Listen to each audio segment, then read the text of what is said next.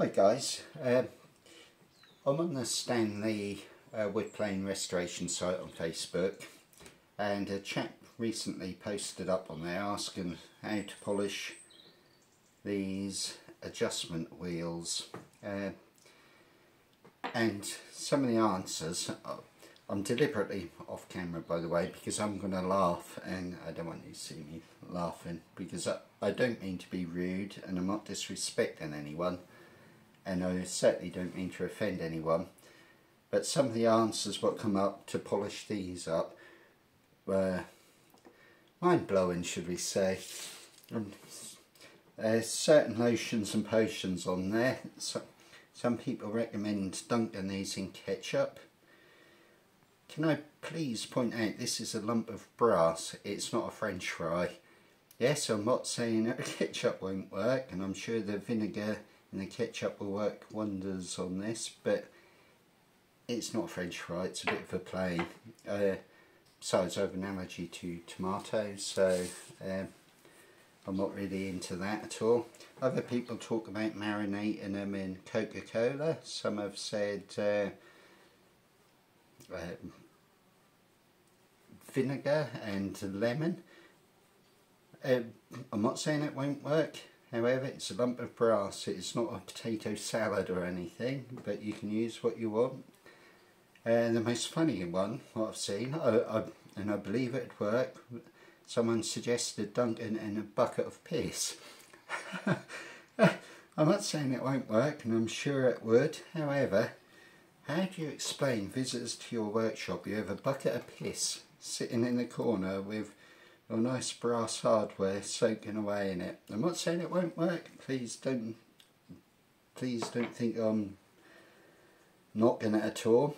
However, we're in uh, modern times now. We're not in the Middle Ages. I'm sure there's better ways to polish brass than sticking it in piss, vinegar, ketchup, and all the rest.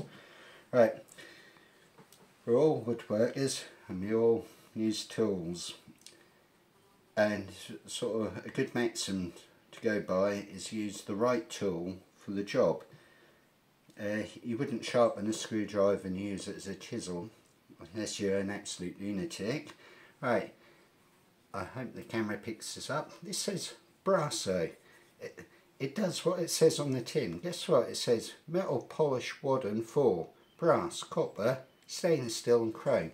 It's purposely designed to polish brass it does exactly what it says on the tin. I'm just going to demonstrate my method. I'm not saying any other methods are right or wrong. If you want to use a wire wheel, I would I would suggest caution. I really would. The knurling, what you get on uh, these adjustment wheels, if you're not careful, brass wheel will remove it. Same with any writing. This is of a, a Woden number 4 and it's got cut on and off on there. Um, if you start using abrasives and stuff on that, it will remove it in a heartbeat if you're not careful. Right, all you'll need for my method is need a piece of clean cloth such as this a wooden dowel. However you use a screw, you can use anything and all you do is pop it in your adjustment lever like that. Keep going until it's nice and tight so it doesn't ping off anywhere. You don't need any wire wheels, you don't need uh, lathes or anything special at all. I'm assuming, as we're all woodworkers, most of us will have a drill in here. The most Luddite of uh, woodworkers who are traditional hand tools only will have an electric drill hid somewhere. All you need to do is chuck this little bad boy in here, spin it up, lock it down. I'm just going to put some gloves on. It's a bit mucky, I'm not going to deny that. But, oops.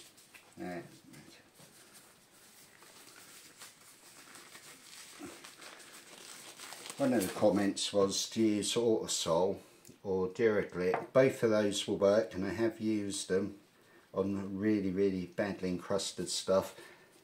Uh, they, they will work but again using what it says on the tin. Right, little wad, tiny wad of Brasso, stick it in there and there we go.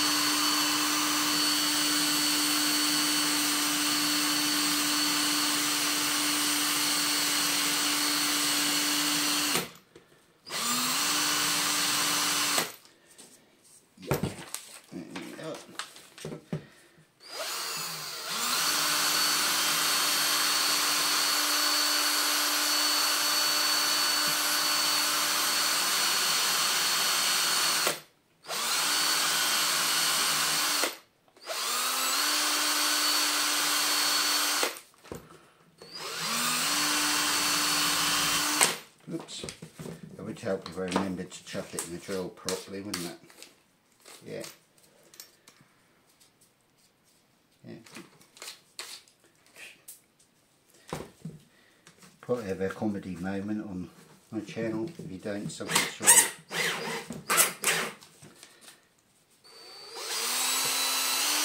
Usually, usually this takes me about 30 seconds to polish it up, but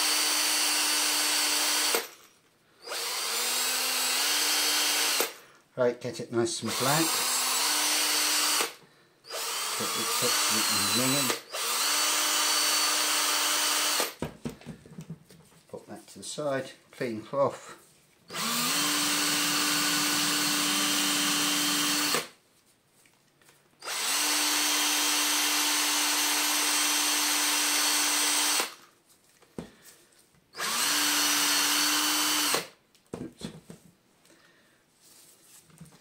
hope I remembered what way I chucked my drill to spin.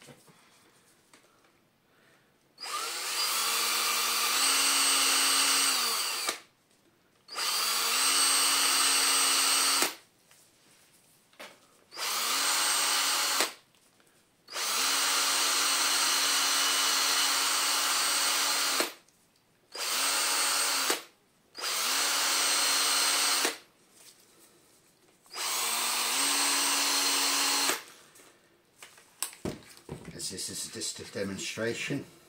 Right, there we go. Nice and shiny. Obviously, can spend a bit more time there. I'm sort of trying to do this on the fly, on the uh, just to demonstrate. However, there you go, nice and shiny. Didn't take forever. Just a quick one for doing brass barrel nuts you keep like the out. Oops.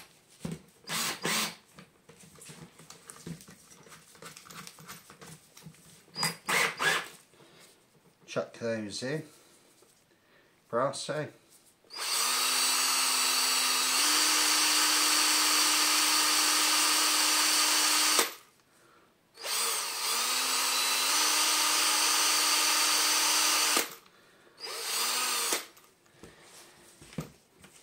Rinse and repeat with clean cloth.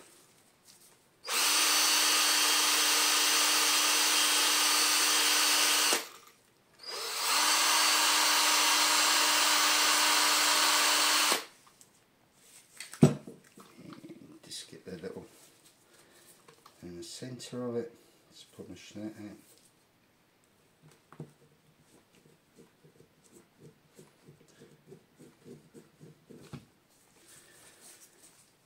And there we are. Hope you enjoyed it. This, this is only a tongue-in-cheek video. Honestly, guys, I'm not taking the mickey out of anyone. It's just trying to save people time and effort and stuff. You can use whatever method you want. I've just shown you mine. Uh, you know, right tool for the job type thing. You wouldn't, I don't know, you wouldn't use a chisel to undo your lever cap, or maybe you would, I don't know, it would work, but I'm a firm believer in using right tools for the job. Brasso does what it says on the tin. No, I'm not sponsored by them, I wish I was. Have an excellent day, folks.